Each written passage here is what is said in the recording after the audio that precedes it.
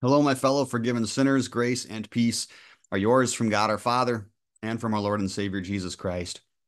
This is a Bible study that uh, our uh, churches just recently went through, talking about some biblical wisdom for practicing politics. Uh, I think most uh, Americans can give a long list of uh, problems uh, and specifically sins uh, associated with how we practice politics. Um, there's a lot of quite a lot of lies and deception going on, quite a lot of um, uh, hypocrisy you see both sides are well all all sides i suppose uh, depending how you divide things up uh, hyper fixating on the shortcomings of the other side while ignoring their own sins and corruption right? Um, we see a lot of people um, or a lot of evil persisting in our government uh, that really needs to be addressed and it's just kind of not. Uh, so there, there's a whole lot of problems and even just when it comes to a, a simple uh, two people talking to each other uh, trying to explain what they believe and why they believe it even there uh, those uh, discussions often end with all kinds of uh, uh, slander and anger and these kinds of things. It's very often not very productive at all.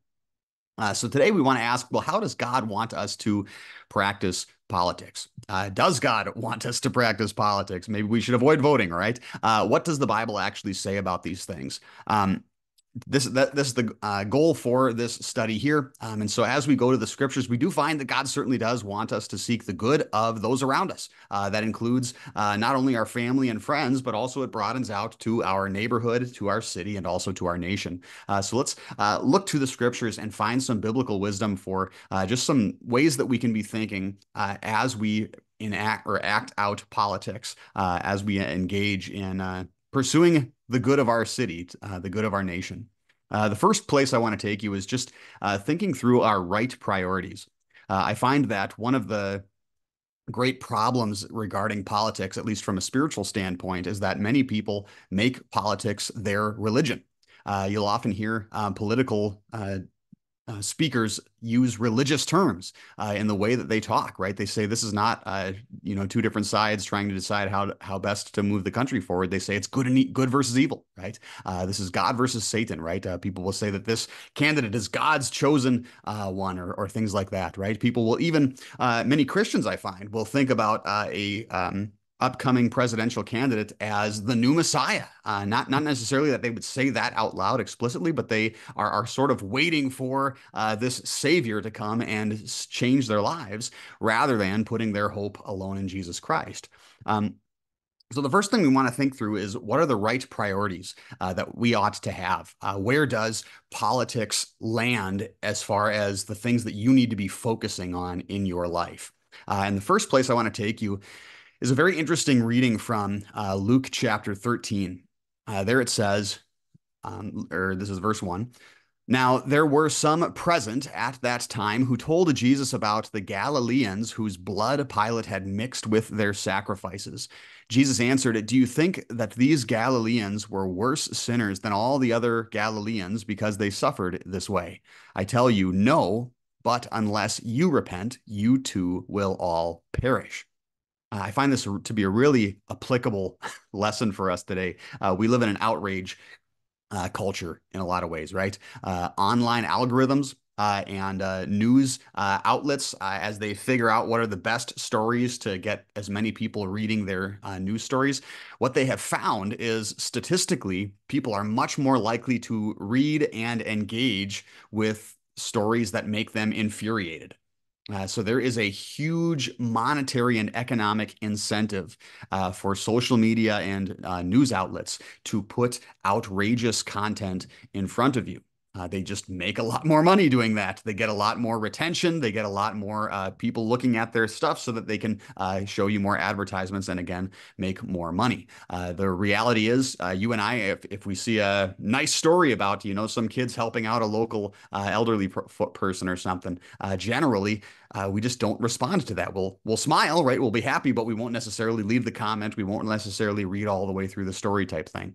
Um, and so we have to be on, on guard against this. And a lot of political discussion tends to be these outrageous stories, right? Uh, it's these over the top. Look at this horrible thing that's happened. Now, look at how Jesus responds to an outrageous story in his day. Right? Um, again, Pilate, uh, Jesus would eventually die under Pilate, right? Uh, Pontius Pilate had killed some Galileans and he had mixed their blood with their sacrifices. Uh, a, a, modern day equivalent would be like if a governor in our country um, killed some Christians and then poured their blood into the communion wine, right? This would be an outrage. This would be horrific. This would be, you know, big news, right? Um, but notice Jesus' response to this. Uh, he doesn't start screaming about how horrible uh, Pontius Pilate is, just, even though he absolutely was horrendously evil. Um, Jesus instead focuses us on what matters, right?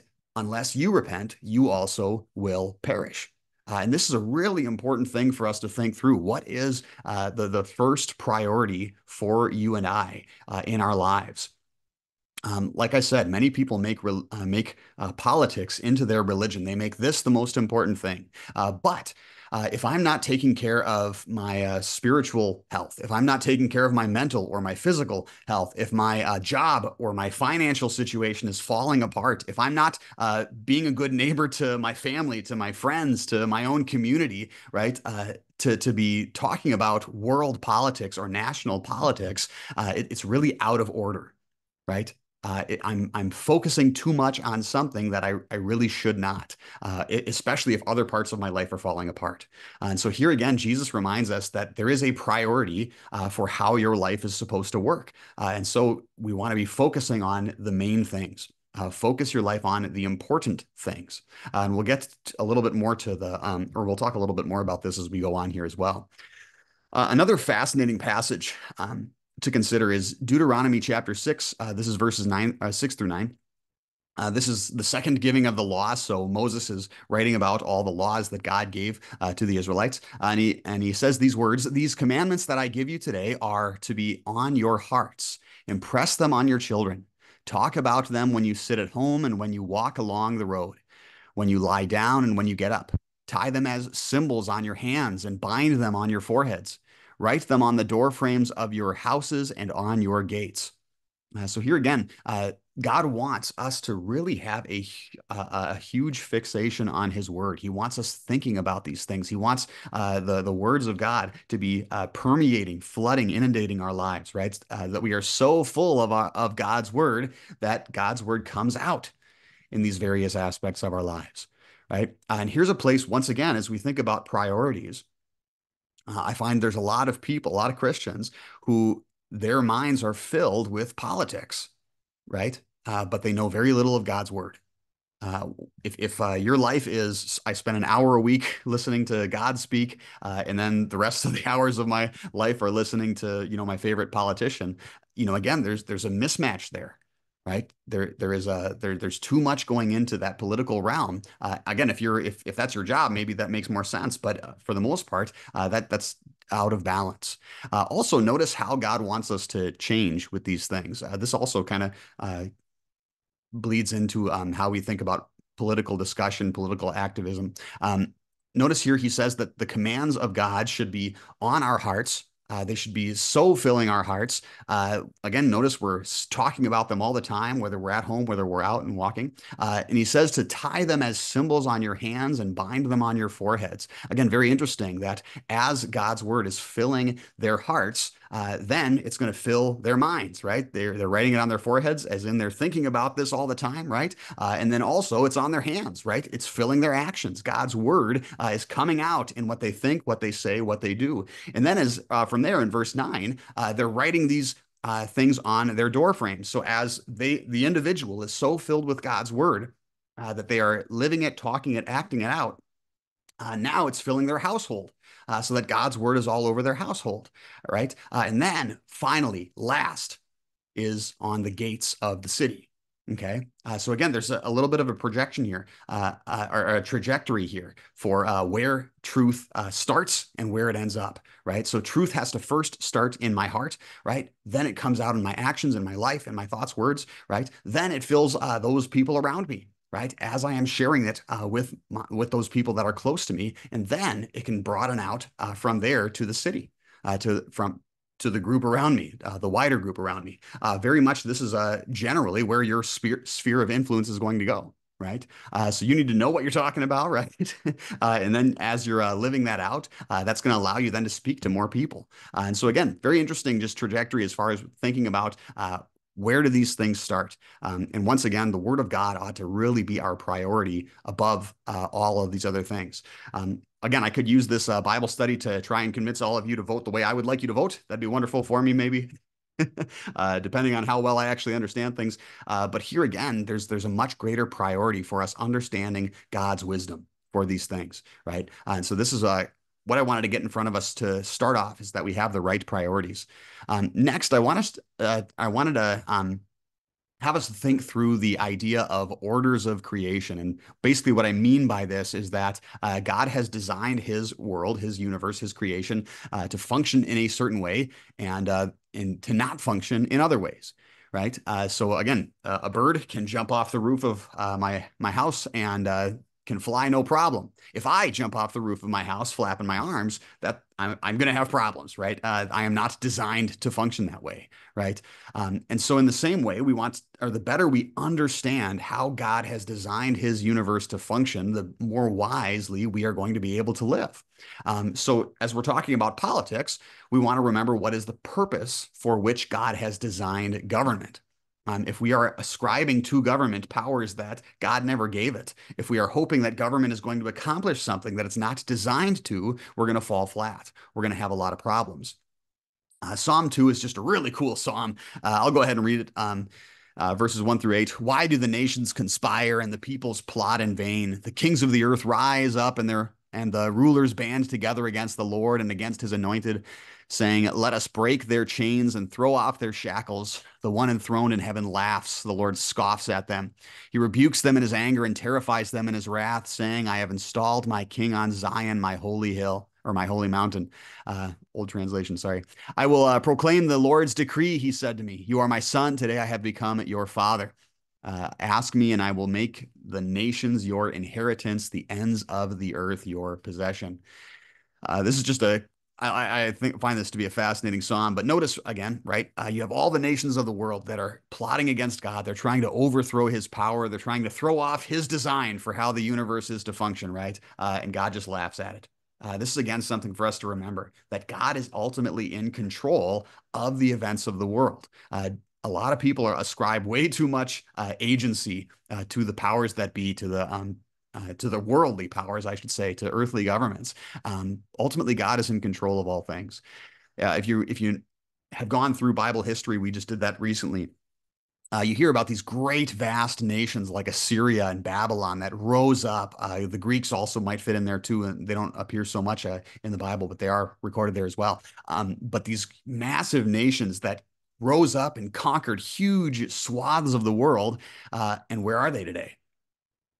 They're just gone right these these great powerful empires rose up and then they faded away and uh, mostly just or many of them just disappeared from history right uh, and this is again something for us to think about for as powerful as uh, some nation may seem today uh, from a historical standpoint uh, that we're, we're in this for a long haul, right? uh, and so our, our situation, again, yeah, can be serious, uh, but we want to remember who ultimately is in control. God is in charge of the rise and fall of nations.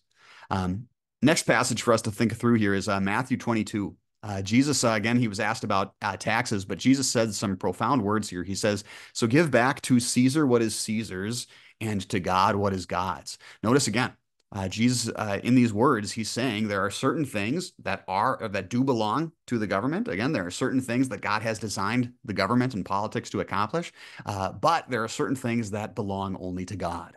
that those things belong to Him. Uh, once again, this was a rather profound thought in uh, Jesus' day. Uh, the emperor was worshipped as a god, right? Uh, so, being a citizen, uh, there was a bit of idolatry built right into that government system. Uh, here, Jesus says, no, there's a distinction between the worldly powers and God's powers.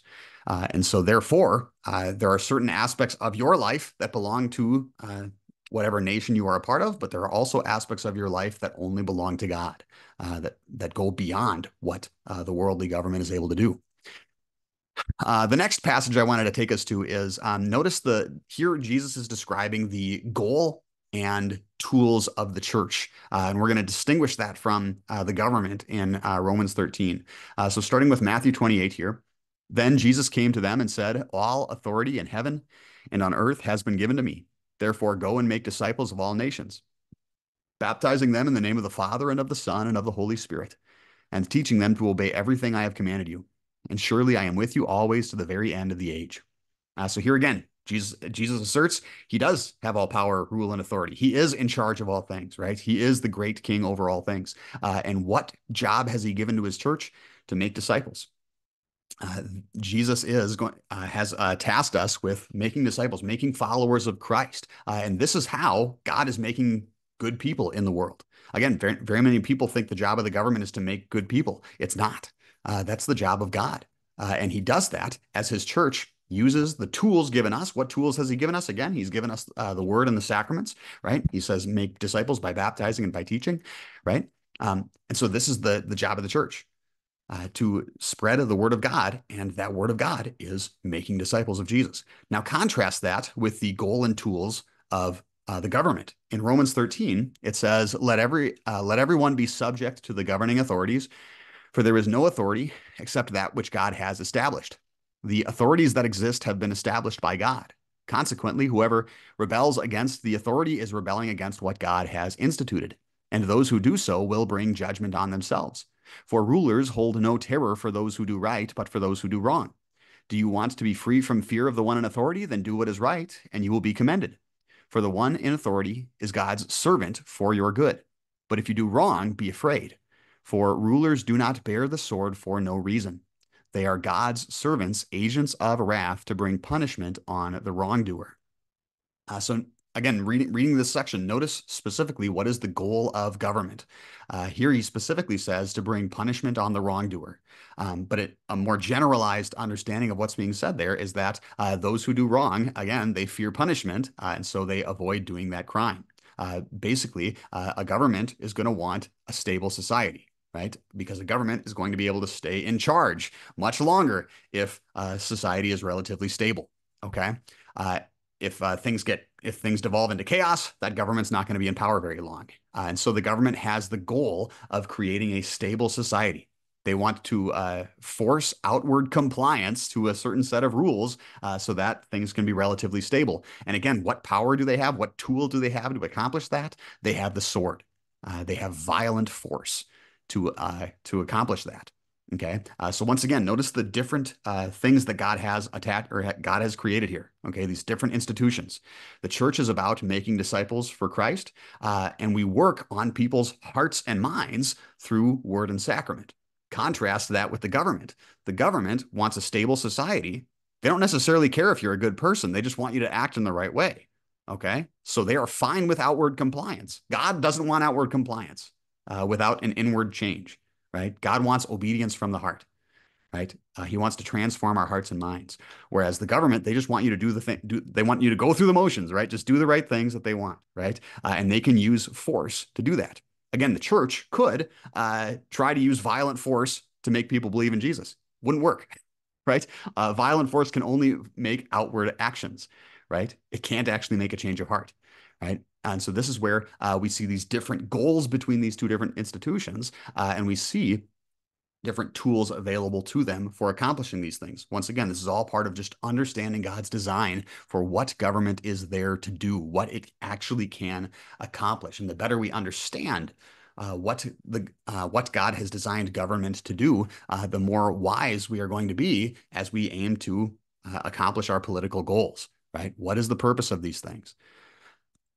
Um, and also, also uh, again, going back to that, uh, what we talked about with priorities before, right? Um, as we think about God's design for our lives, many people um, look to politics as a way to try and improve life, right? They want to make the world a better place. Uh, however, once again, as we think about God's design for your life, uh, you're going to find that you will have much more impact. Uh, you'll accomplish much more uh, life improvement if you start in those places where I mentioned before, right? If you first prioritize your uh, mental health, your soul, your spiritual health, your uh, body health, your uh, uh work life, uh, your finances, uh, your family, your friends, your congregation, your neighborhood, right? if you first prioritize those things, first off, you're going to have way more of an impact you simply have way more control, way more responsibility in those areas, uh, much more ability to accomplish those things. Uh, and secondly, if you have all those things figured out that you can be strong in all those areas, uh, then you're going to have significantly more influence. You're going to have significantly more power to actually change things on a broader scale, right? Uh, so once again, these, this is all just how God has designed His universe to function. Uh, and so when, when we do things in the right order, we simply are, are able to get much better results.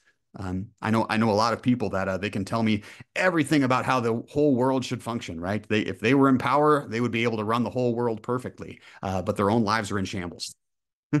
right? Uh, their their you know health is a disaster. Right? They're uh, they don't have good relationships with anybody they know. Right? Uh, and so that makes me a little doubtful whether or not they would actually be able to run the world well right uh, again if we if we focus first on those areas of influence those areas of responsibility that god has given us um, uh, again, we, we can have much better results uh, going forward there.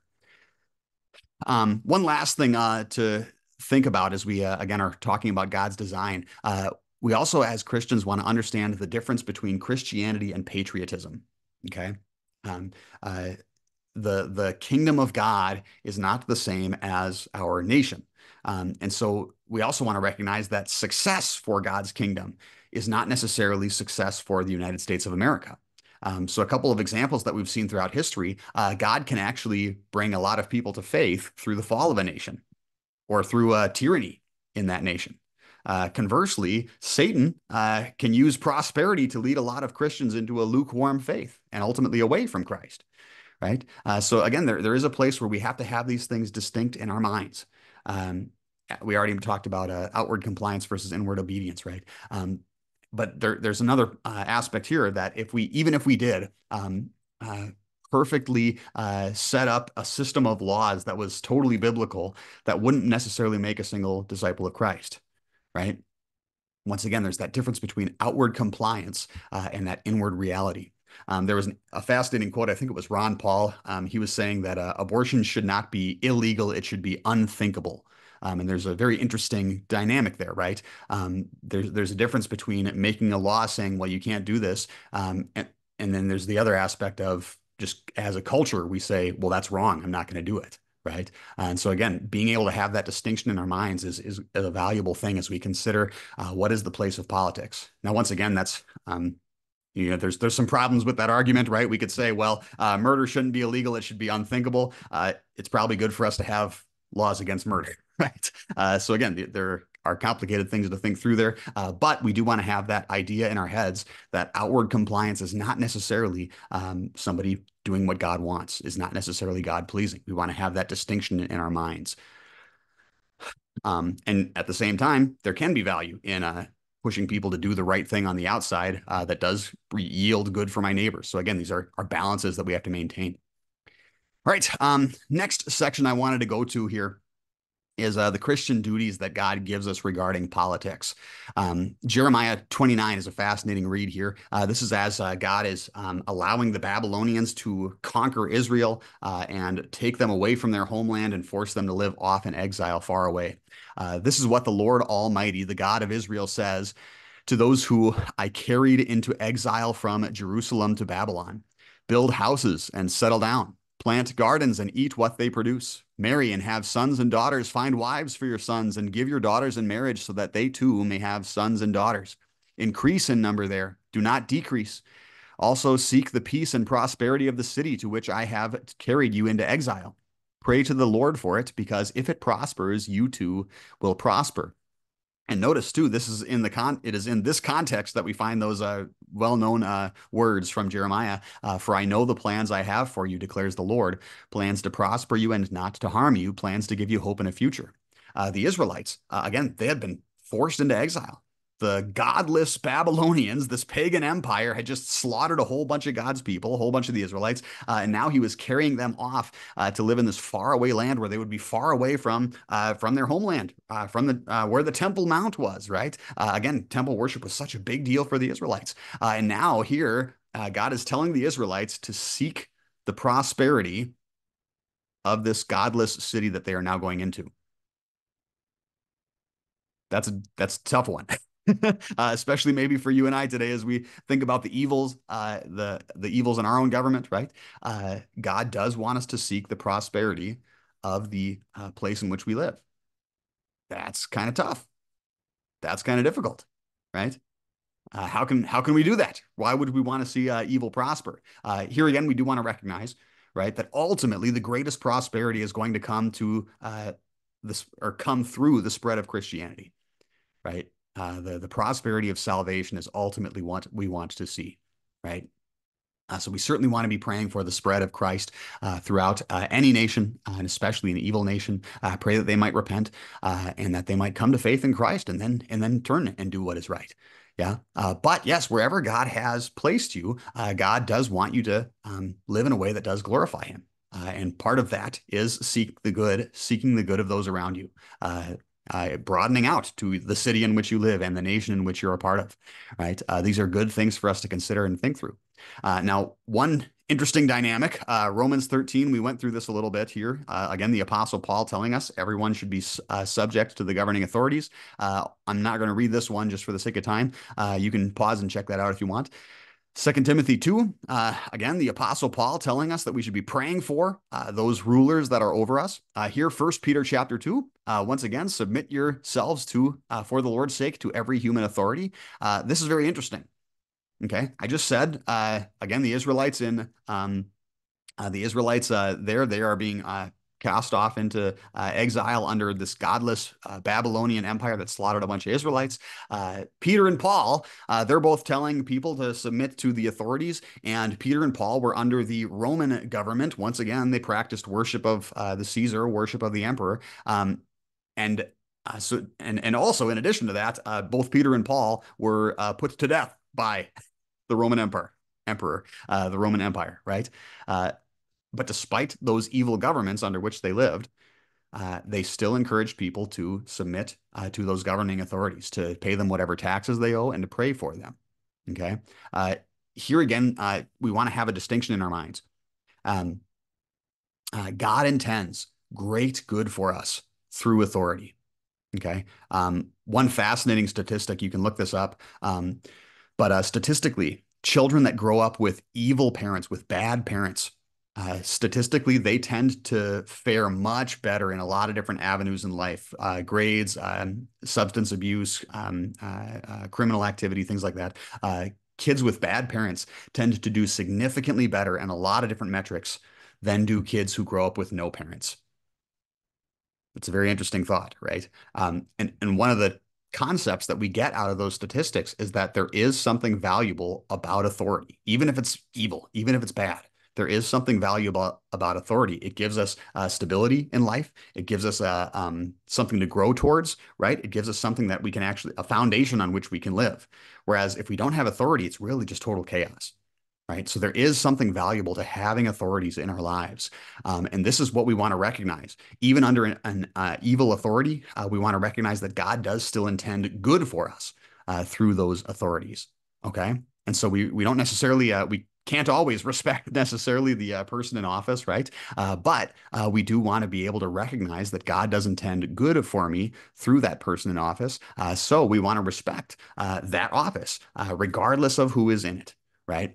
Um, and along with this, some other difficulties as far as how the scriptures speak about authorities um, in our day today, right? There are um, some very interesting differences for us to consider. Uh, again, like I said before, uh, many of them lived under an empire with an absolute authority uh, over them, uh, whereas you and I today, uh, in America at least, we have um, a very different system. We have a constitutional republic, right? We have a lot of rights uh, and responsibilities that uh, are very different from what they had uh, in the, in that culture back then. So that that's something that's very interesting for us to be able to think through and understand. Uh, again, we have a lot of checks and balances. We don't have an absolute authority um, like those emperors did or like empires did. Yeah. So again, very interesting things for us to be thinking through and wrestling with, chewing on. Um, once again, this is a, a, difficult thing for us to think about because uh, America was birthed out of rebelling against our authority, right? Um, and uh, so, so we have a, a really soft spot in our heart for rebellion, uh, for rebelling against our authorities.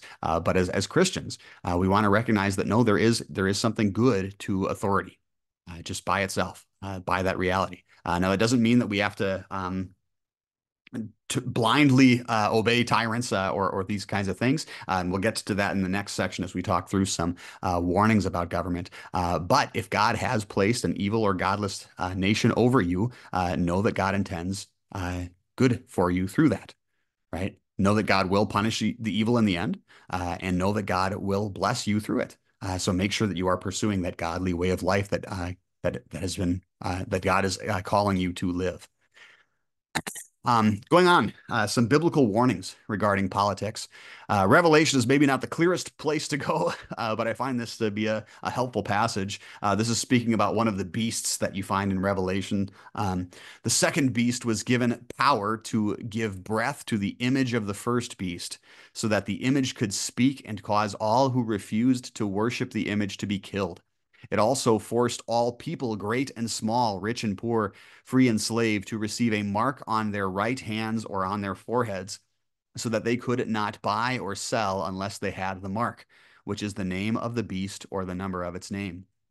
Uh, aside from the uh, rather difficult things to uh, interpret in Revelation, notice that this beast is using violent force and economic uh, factors in order to force people away from worshiping God.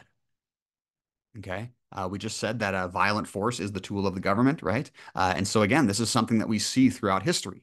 Uh, we've seen a lot of places where the government has used violent force uh, to persecute Christians, uh, to try and force people away from faith in Jesus. Uh, and then we also see a lot of governments using economic factors to push people away from Jesus. today, in fact, a lot of Christians um, are, are suffering both of these. Um, especially in the Middle East, you find a lot of violent persecution against Christians. Um, so be praying for your fellow Christians that are uh, facing martyrdom uh, uh, regularly, even in our day and age.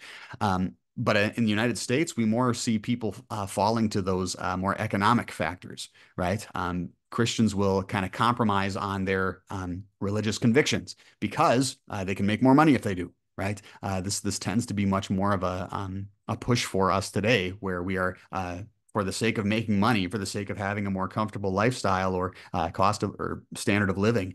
Um, people will uh, not be faithful to God like they know they should, um, and so this is again something for us to be on guard against.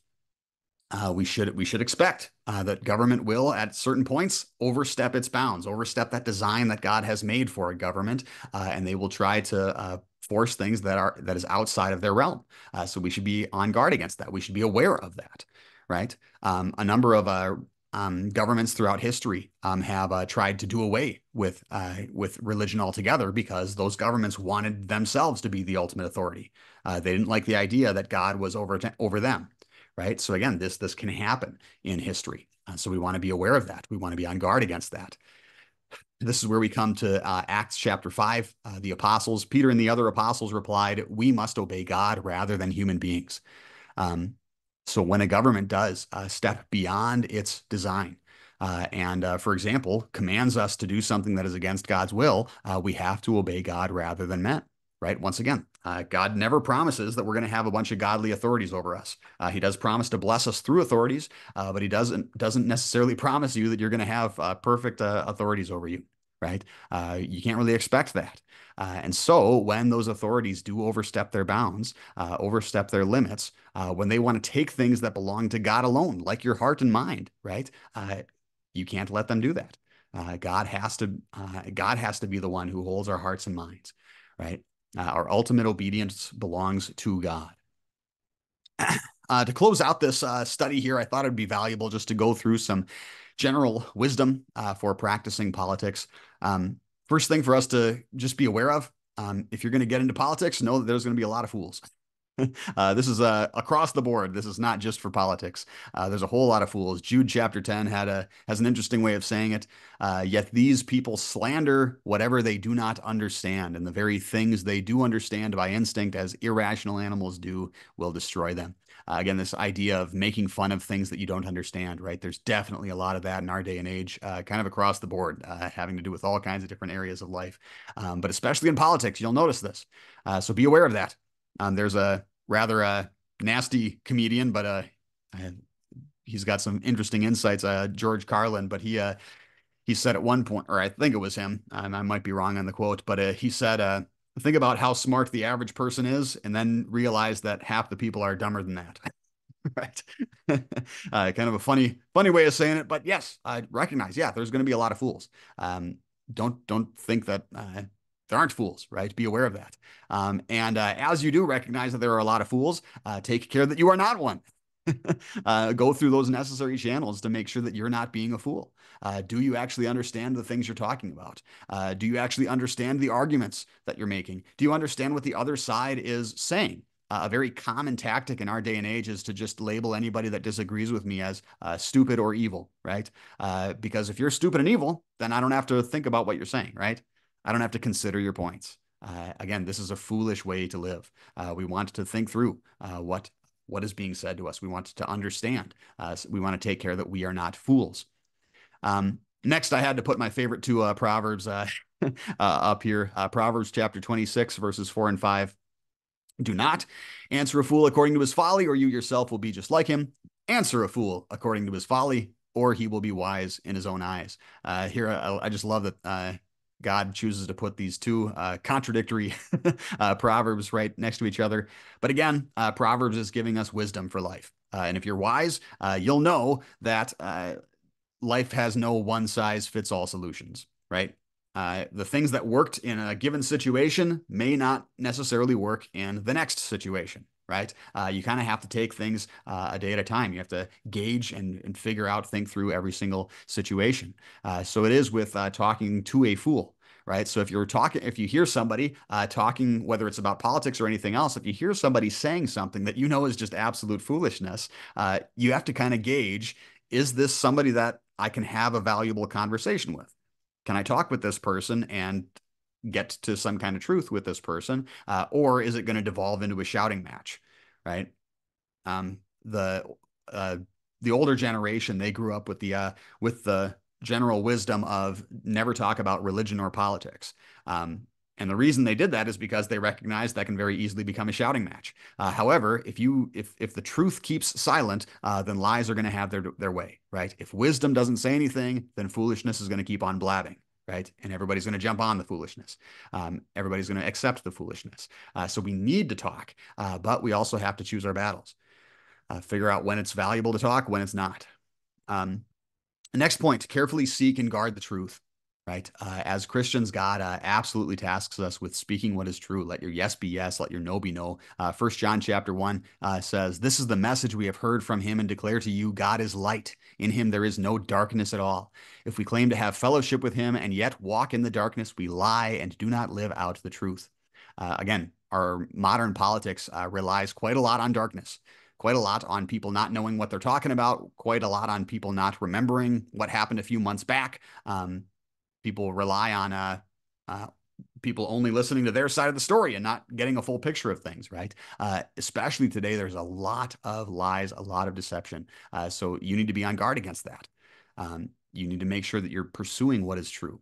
Um, you want to be careful about deceptively edited videos, uh, deceptively worded headlines. Uh, you have to be careful. Even some of the fact checkers that we have uh, have been found lying. Uh, so you want to be able to verify those things. Uh, you want to be uh, aware that your favorite politician or your favorite news sources very well could be lying to you about things. Uh, so pay attention when you listen to critiques uh, of those things. Uh, I know there are a lot of um, uh, news outlets and um, programs uh, these days that are uh, making an effort to help people to think through both sides of a story. Um, I know there are some uh, um, groups that will help you to see okay there's this new there's this story in the news. Here's how the left is talking about it. Here's how the right is talking about it. Um, and that can give you a little bit more of a even understanding about what's going on. Uh, that can be a very valuable thing for making sure that you're not just getting one side of the story or uh, having things uh, kind of flipped and twisted uh, to to um, manipulate you in one direction or another. Um, another thing to be on guard against um, is uh, the rhetoric uh, that we that we uh, use in our political speech, right? I said before that uh, very often we will uh, think of politics. Uh, we'll talk about politics with religious terms, right? Like it's good versus evil, right?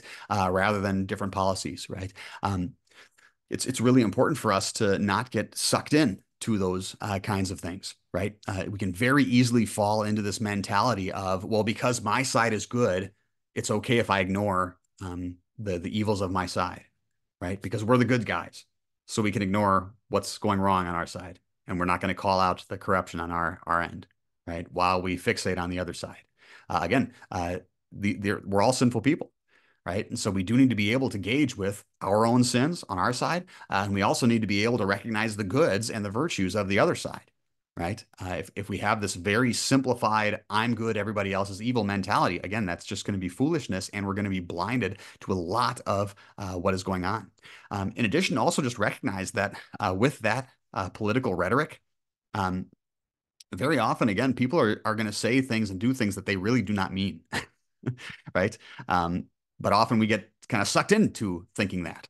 Um, so, for example, uh, uh, just in the current race, um, well, current and last race. Um, uh, we had uh, Harris was the vice president or is the vice president of uh, Joe Biden. Uh, but before, when she was running against him in the primary, she accused him of being a racist, right? Uh, but now she's his VP.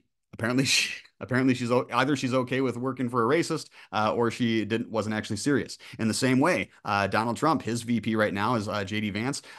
Vance had previously accused Donald Trump of being Hitler, right? again, is he okay working for Hitler now?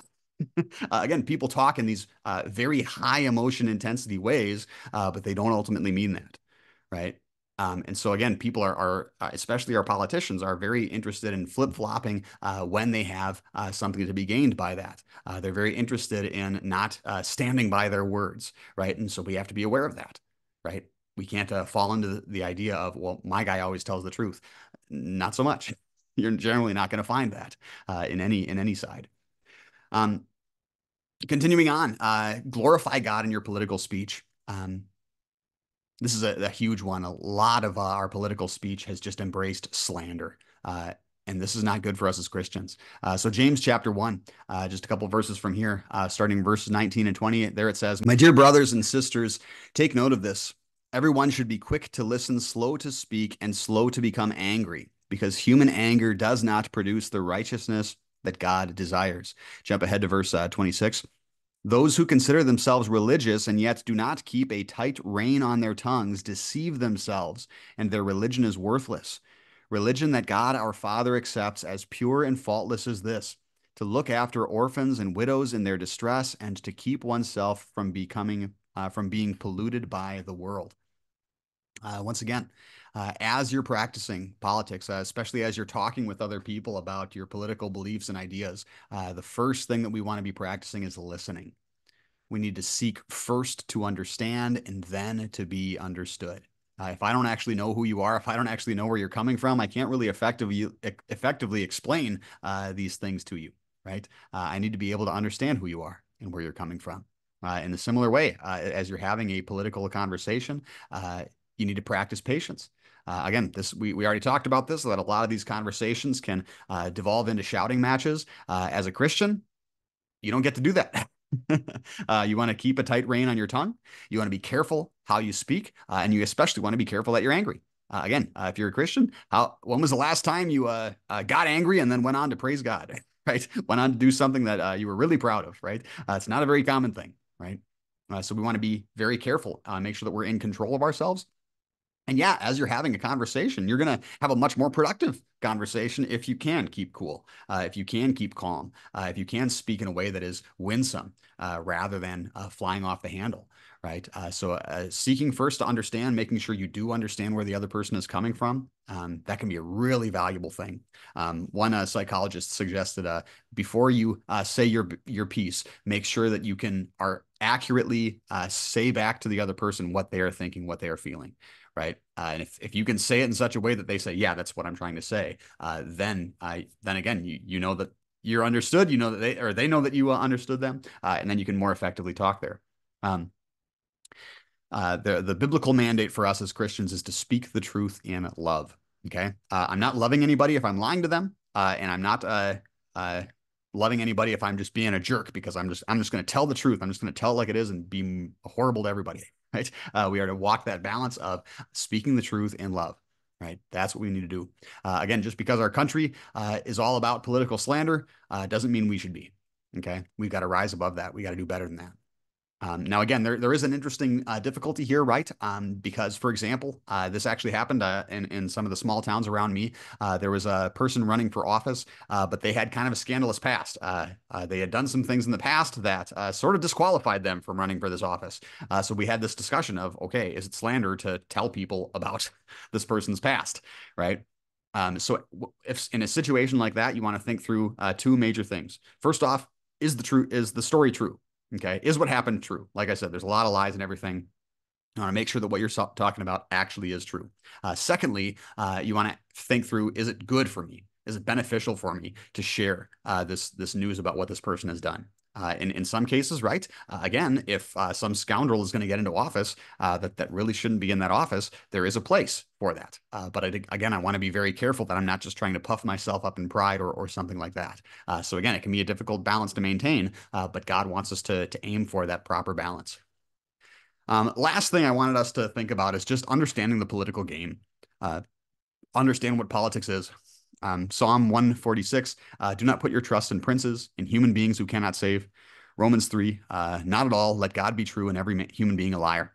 I already talked about the vice president situation, right? Um, Again, a lot of uh, political enthusiasts like to paint their uh, efforts as spiritual battles of good versus uh, evil, uh, or uh, people that lose elections. They they'll sometimes just brag, "Well, I was being true to my uh, beliefs" and that kind of thing. but again, as we're thinking through what God has designed politics to do, as we're aiming to understand what its function is, we want to be very clear with ourselves about what our goals are in politics right? Uh, by nature, because uh, politics is a group activity, uh, it requires a lot of compromise.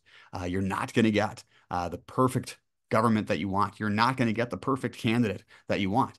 Uh, so in any situation, you got to compromise. you got to you got to choose. Okay, this person is strong, maybe on I don't know foreign policy or something. They're kind of weak on the economy. So whatever, we'll we'll have to figure that out. Which which do I actually want more, right?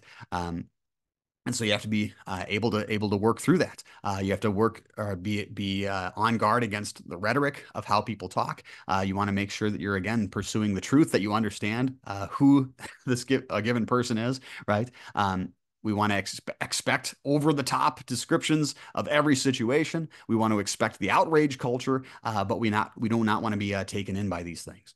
we want to be able to think clearly. so for again again as you're thinking about okay who who should I uh, work with politically or who should I um, uh, support politically. Uh, you want to think through, okay, what are my goals within uh, politics? Right. What do I actually want to accomplish? What do I think will be good for the nation? Uh, and okay, th- then I can think through these these candidates uh, would fit this place very well. also, do you understand um, the division of our government? right? Do you understand what a president does? Do you understand what uh, a senator uh, and a House representative does? Um, if, if, you don't understand those things, you should really educate yourself, right? Um, voting is a responsibility, uh, and because it's a responsibility, you should know what you're doing, right? Uh, if you if you don't know what you're voting for, you probably shouldn't be voting, right? Uh, you shouldn't be wielding power that you don't understand. Uh, be very careful with that kind of stuff. Um, so again, yeah, as, as we aim to practice politics, yeah, we want to make sure that we're paying attention to uh, what we can accomplish, what government is for, uh, what we can accomplish there. Um, and then also, like we talked about with the design previously, uh, generally you're going to um, be able to accomplish much more good if you focus on uh, the local level. Uh, so the politics in your own town, uh, in your own city, uh, in your own county. Uh, generally, you're going to be able to do a lot more good in that case. we tend to over fixate on the nation. Um, but but generally uh, focusing on your town and your state uh, will be much more fruitful. Uh, you'll be able to do a lot more impact. Plus, you can get involved and actually do a lot of things uh, in your own town, in your own state. Um, so again, those are all valuable things to to be going through. Um, that was all I have for you today. I know this was quite a lot. Uh, again, there's a lot of wisdom to be thinking through. So um, you know, if you do have any other uh, Christian wisdom to share with your brothers and sisters in Christ, uh, I'd appreciate that. Throw those in the comments or whatever.